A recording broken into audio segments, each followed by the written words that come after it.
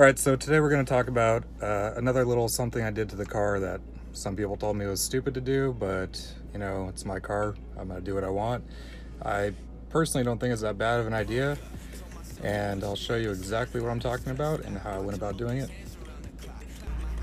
So like I've mentioned before, I have E-level in my car, and there's no pressure gauge for the tank, no pressure for the corners, and apparently all the moving of the bracket has caused my right rear corner to cause a leak.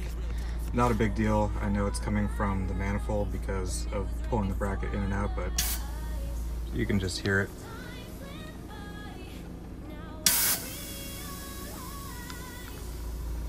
But in any case, something that is not necessary, but I felt like adding was a tank pressure gauge, just to know if I have a tank leak. You know, it's a nice diagnostic tool to have.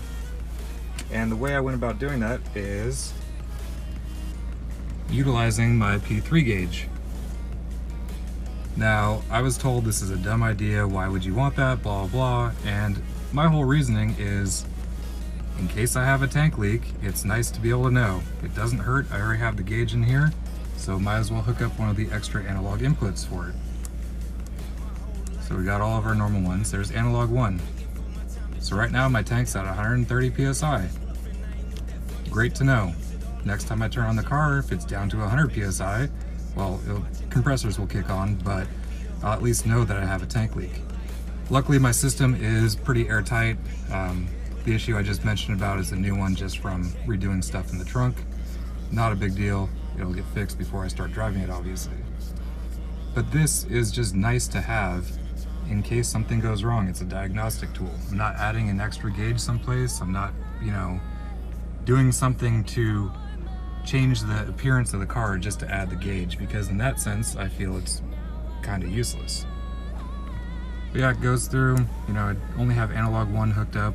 Everything else, same as any other P3 gauge. So I'll show you real quick how I went about wiring this. Extremely simple, just one wire. So I've mentioned it before, my wiring still needs to get tucked up and cleaned up, but these are the analog inputs for the P3 gauge. There's two, there's one. One is now hooked up to the tank pressure gauge. So this is just the pigtail from the P3 gauge harness. Kind of hard to see, but there's the connector for it. And that wire gets ran along down with everything else along the factory wiring. Again, grouped with the factory wiring all the way down. That's my battery tender wiring right there. All the way through and then down out to this group of wiring down here for the AccuAir.